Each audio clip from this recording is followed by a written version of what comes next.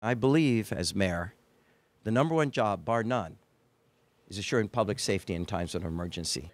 City and state officials recently unveiled updated evacuation maps to include extreme tsunami zones, just in case Oahu is hit by waves generated by a magnitude 9 earthquake or higher. We have that potential, and we need to be ready. On the map, the extreme tsunami zone is colored in yellow.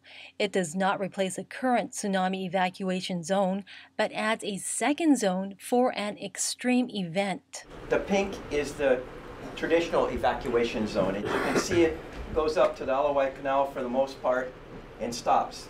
You have a little bit of an area where you don't have to evacuate, where it's a little higher ground.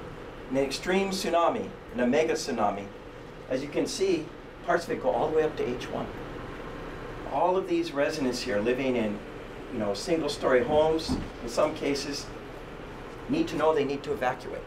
This particular extreme event is low probability, but as you can see on these particular maps, has a potential for very high impact.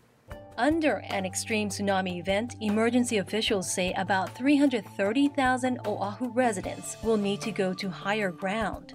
That's up from 90,000. That's one third of our population, so that is of definite concern to us. In Kailua, you see it goes back one street. Now it goes all the way back to Kawainui Marsh. And all of Kailua and Enchanted Lakes is in danger in an extreme mega tsunami.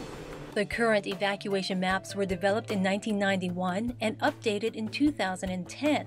However, after the 2011 Japan earthquake and tsunami, emergency officials here say there is a newly recognized risk of a tsunami coming from the Aleutian Islands. Just a sobering thought the tsunami of 1946, which is the biggest and most damaging in our recent history, that energy actually, that was just a glancing blow. That energy went slightly to our east.